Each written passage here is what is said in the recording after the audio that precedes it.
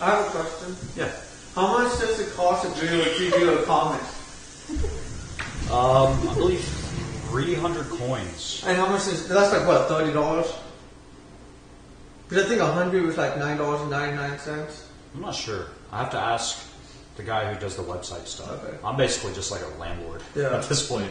Um, I know it's 300 coins, but I'll look and see Okay, thank you. prices. Um, it'll be tuned, I think. I think uh, whatever the current one is, it'll either go uh, higher or lower because we, we don't want them firing off constantly Yeah. because it could get very annoying. Also, I thought you guys were bleeping out like uh, profanity and stuff. Uh, what was said? Uh, John, uh, Retard. no, it, it said John, shut up, retard. Wait, which which speaker? No.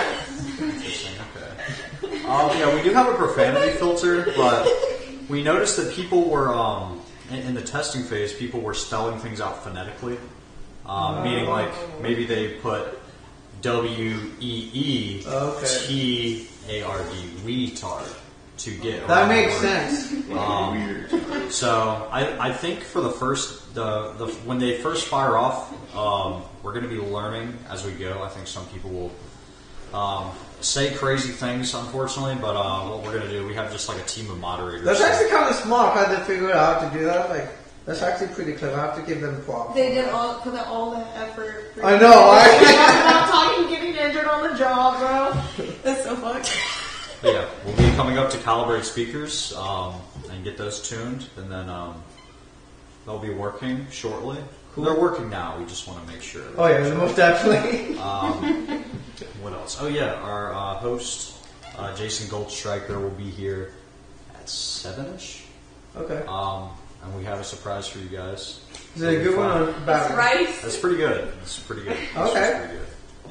Yeah. Is it Well, like is it like hard? Like, do we have to do something? Or we or we get a gift? that would, uh, you know, I don't want to give too much away. You know, that's some of the fun of the Just write it down, and we can look at it. Write it down and just give it to you only. Yeah. Well, no, no, no. Just like write it down on a piece of paper, and you know, we won't tell no one. Uh, I don't. Uh, what, what was the rule? What did what did uh, Jason say when he was in here? What, what was the what was the stipulations? What did he ask for the essay?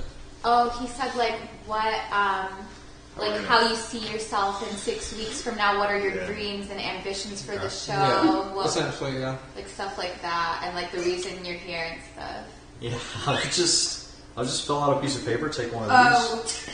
she filled out more. She filled out like four pieces of. Really? I did like- impressive. Nice. I want to do like three sentences. Well, hey, sometimes brevity is the uh, the spirit of wit. Wow. Brevity's good. So is being highly detailed.